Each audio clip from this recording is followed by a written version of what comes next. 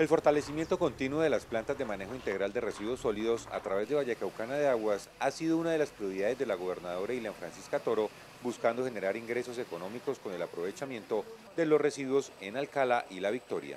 En el municipio de Alcalá hicimos entrega de una aglutinadora y una pelletizadora y en el municipio de La Victoria entregamos eh, una compactadora y una báscula.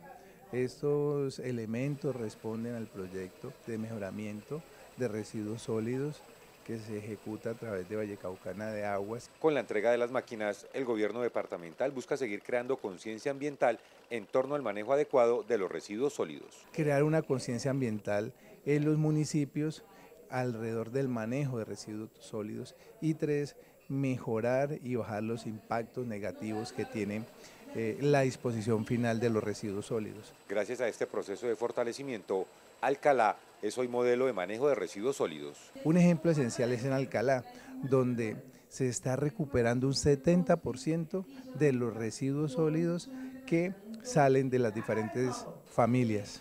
El fortalecimiento de las plantas de manejo integral de residuos sólidos por parte de la Gobernación del Valle, además de los beneficios económicos y ambientales, también genera empleos directos e indirectos.